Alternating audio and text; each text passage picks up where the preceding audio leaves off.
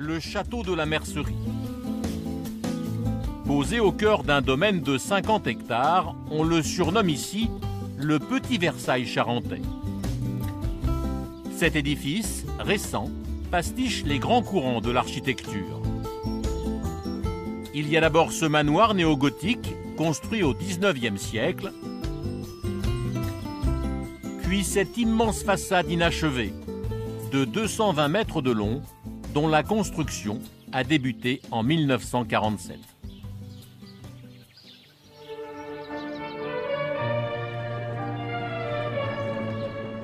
Une grande tache blanche sous le soleil des Charentes. Des murs épais de 4 mètres, 320 mètres de façade, un parc de 400 hectares. Réalisé en 1967, ce documentaire est l'unique témoignage en images de la folie de deux frères amoureux de la culture classique. À Magnac-la-Valette, près d'Angoulême, tel que l'ont voulu et conçu deux frères passionnés de culture classique, Alphonse et Raymond Rétoré. Député jusqu'en 1978, Raymond Rétoré est une figure locale de l'histoire charentaise. Alphonse, son cadet passionné d'architecture, a dessiné tous les plans et les décors du château. C'est au lendemain de la guerre que les deux frères entreprennent l'édification de leurs rêves. Pendant 25 ans, une vingtaine d'ouvriers travaillent sans discontinuer à la conception de ce petit Versailles charentais. La plupart sont des agriculteurs qui vivent au pied du château et se sont formés sur le tas. Et vous voulez sans doute me demander pourquoi avez-vous fait ça? Est-ce que ça avait un but d'utilité? Vous êtes allé en Italie, vous avez vu les palais italiens. Si vous aviez demandé aux gens qui les ont construits à la Renaissance, pourquoi construisez-vous ces palais? Pourquoi même vous ruinez-vous à les construire? Il vous a répondu parce que ça nous fait plaisir. Et c'est la raison pour laquelle on a construit et on construit la mercerie. Nous avons fait cela simplement par un besoin, comme on aime la peinture ou comme on aime la musique. Mais faute de moyens, en 1970, les travaux sont interrompus. Après le décès des deux frères, la mercerie est vendue et laissée à l'abandon. Aujourd'hui, un groupe de bénévoles se bat pour sortir le château de l'oubli. Parmi eux, Damien Garnier.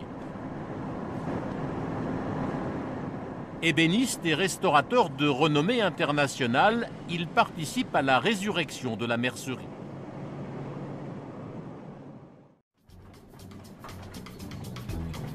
Ce matin débute une journée particulière. C'est aujourd'hui que des volontaires s'emparent du château pour un grand nettoyage. Est-ce que quelqu'un a un crayon? L'objectif est d'ouvrir la mercerie à la visite au premier jour d'été. Comme toujours, Didier Joby est à la manœuvre. Ah.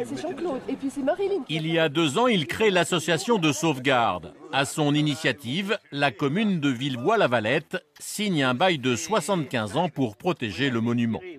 Vous irez avec Gilbert Oui. Hein Tous les deux. Parce que vous allez débroussailler là-bas, vous allez faire des, des travaux. Ce matin, il attend plus de 150 participants venus de toute la région. Euh, qui n'a pas fait sa photo? Après l'inscription, une photographie est obligatoire afin que chaque restaurateur bénévole soit assuré pour la durée du chantier. Pour ceux qui ne se sont pas fait inscrire encore, vous continuez à vous faire inscrire. Pour les responsables, j'aimerais bien les avoir pour leur donner leur fiche de tâche. On va avoir plusieurs chantiers. Là, on a des tailleurs de pierre, euh, des maçons, euh, des menuisiers, des charpentiers, des terrassiers qui vont, venir euh, avec leur matériel et qui vont mettre tout ça en place. Allez, venez avec moi.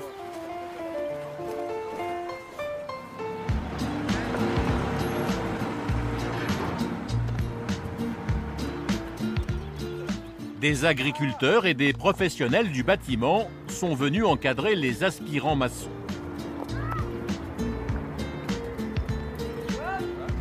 T'en occupes, euh, il t'a confié, tu fais attention. C'est bien, merci Jean-Pierre.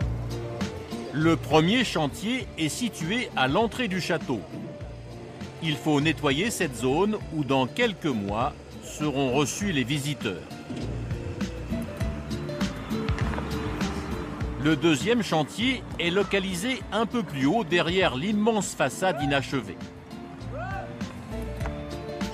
Une chaîne humaine récupère des pierres qui, une fois retaillées, serviront à la restauration du monument.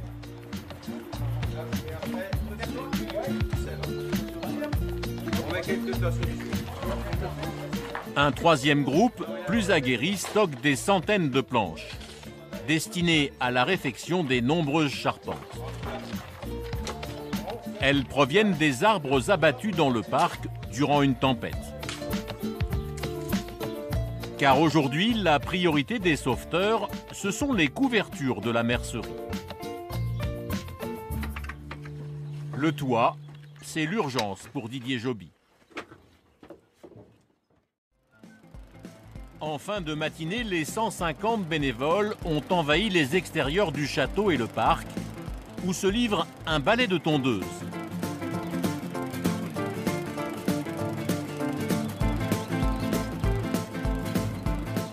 Sur les façades, une petite armée de volontaires nettoie les immenses fenêtres du corps central de la mercerie.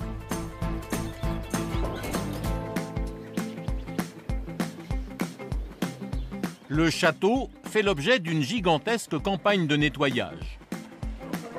La première, depuis plus de 30 ans d'abandon, mais aussi de pillage.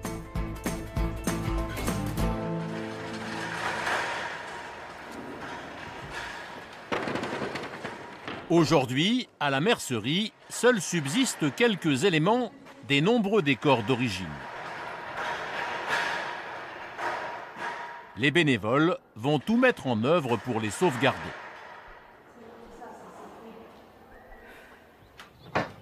À l'entrée du château, Damien Garnier, l'ébéniste, prépare son matériel de restauration avec son employé.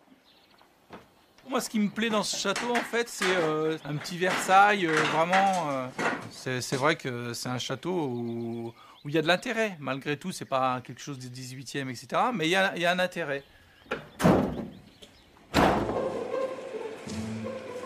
Pour installer leur chantier, les deux artisans d'art traversent la fameuse galerie des Azulèges.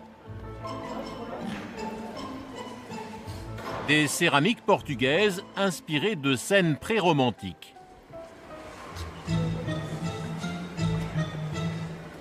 Les frères Rétoré les avaient fait spécialement fabriquer dans la plus grande manufacture du pays, proche de Lisbonne. Cet espace exceptionnel est l'un des plus beaux dédiés à cet art.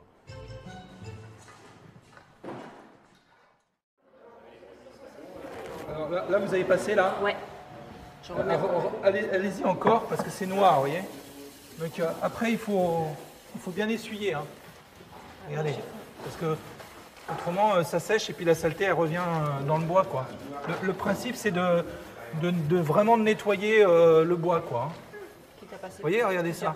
La, la filasse, enfin la, la mèche, elle va vite euh, consommer, quoi. C'est la première fois là, oui, que je fais ce type de, ce type de choses. Mathilde s'est installée à Magnac il y a 14 ans. Eh bien, quand on est arrivé, nous, dans la région, qu'on a découvert ce château, on s'est posé des questions, forcément, sur ce château. On nous a plus ou moins raconté, raconté son histoire.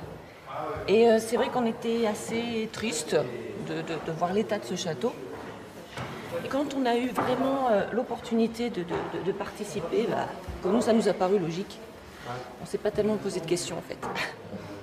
Même personnellement, c'est euh, c'est- gratifiant. quoi. Enfin, euh, quand le château ouvrira ses portes, euh, euh, je pense qu'on sera fiers. Marie et Michel sont bénévoles depuis un an. Quand on a connu le château avant et la ruine maintenant, euh, ça fait plaisir d'avancer un peu. quoi.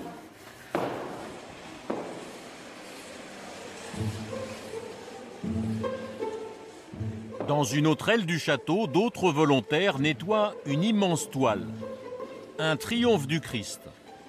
À l'époque de leur splendeur, les frères Rétoré l'avaient fait installer à plus de 8 mètres de hauteur pour masquer un plafond. Aujourd'hui, Magnac-Lavalette vit à l'heure de la mercerie. C'est la fin de la première journée. Dans la cantine scolaire, un petit groupe de femmes s'active. Oui, mais t'en as été obligé de le laisser là-bas, il n'y en a pas. Celui-là, laisse-le là-bas. Elles préparent le repas des volontaires. Ah ben, pff, je stresse. hein. C'est vrai? Je stresse, mais ça va y aller. Hein. Parce que je veux que ce soit bien. Et voilà.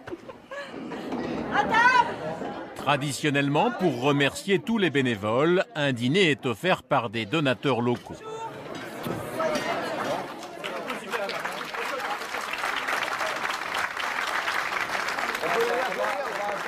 Et comme toujours, l'entrée de Didier Joby est saluée par une ovation.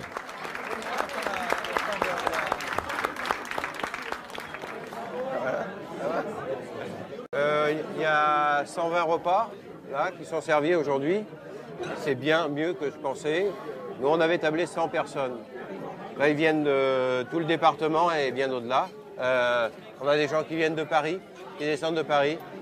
Un projet comme celui-là, et- il est fédérateur.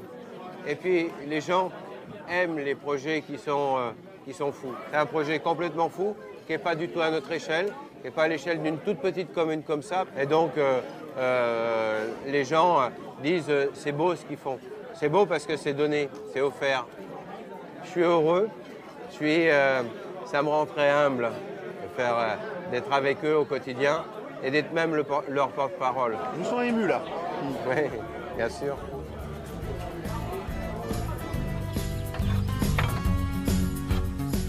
Nous retrouverons les sauveteurs de la mercerie pour la première ouverture du château au public depuis 30 ans.